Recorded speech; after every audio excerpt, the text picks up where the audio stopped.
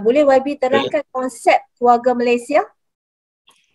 Okey, konsep keluarga Malaysia, pendekatan keluarga Malaysia yang diperkenalkan oleh Yang Amat Berhormat Perdana Menteri Datuk so Sri Ismail Sobri Yaakob amat tepat sejajar dengan tuntutan kebersamaan semua pihak dalam menghadapi situasi semasa negara.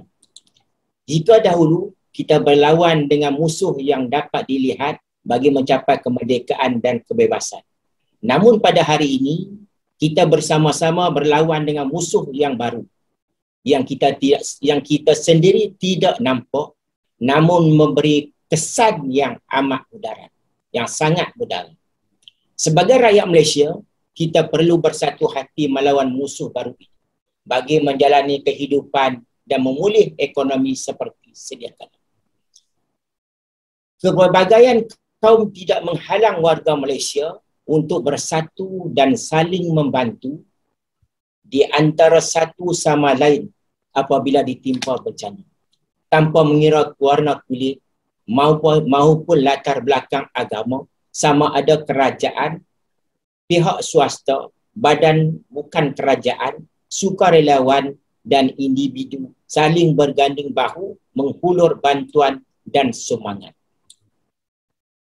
Dikala anggota pertugas barisan hadapan kekurangan peralatan pelindungan diri, maka ramai pihak telah tampil menghulur bantuan dalam pelbagaian dalam pelbagai bentuk sama ada tenaga, wang ringgit dan juga peralatan.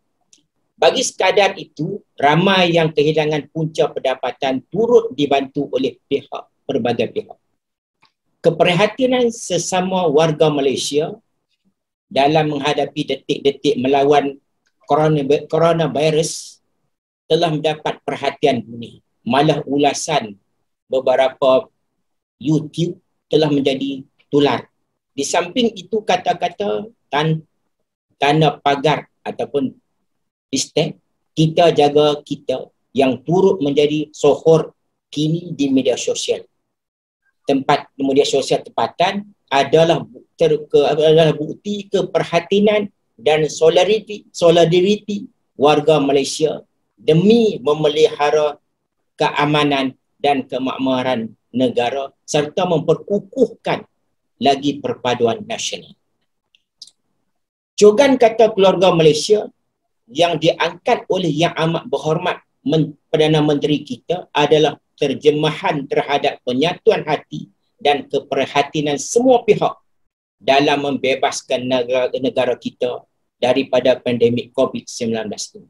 Oleh itu, rakyat Malaysia tanpa mengira, mengira latar belakang bangsa dan ideologi politik mesti mempertahankan apa yang telah dicapai selama ini melalui semangat persahaman, persepahaman Ah, itulah